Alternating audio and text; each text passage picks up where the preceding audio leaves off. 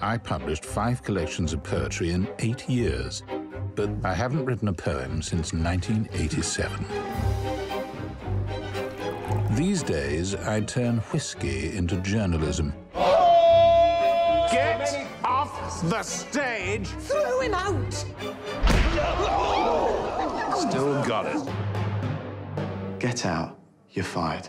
Pity the poor bloody poet.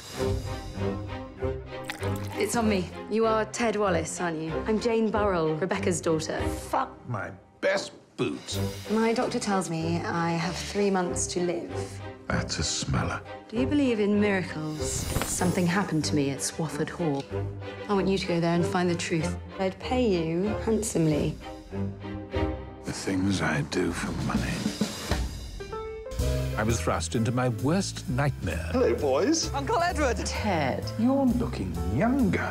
Lost some of that fat. Tell me why you're really here. Jane told me there were miracles which she wanted me to investigate. Look at the state of you. If you're here, Rebecca, who's ruling over Narnia?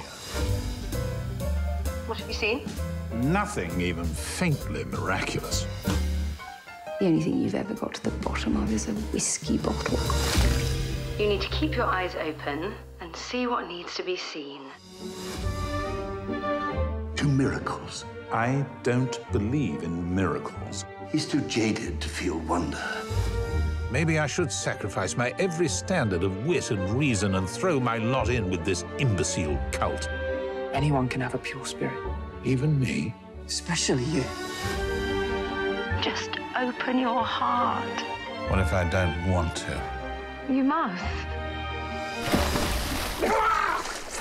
Fuck!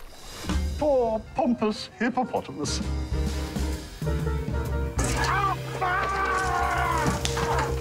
Miracles, my cock and baggy balls.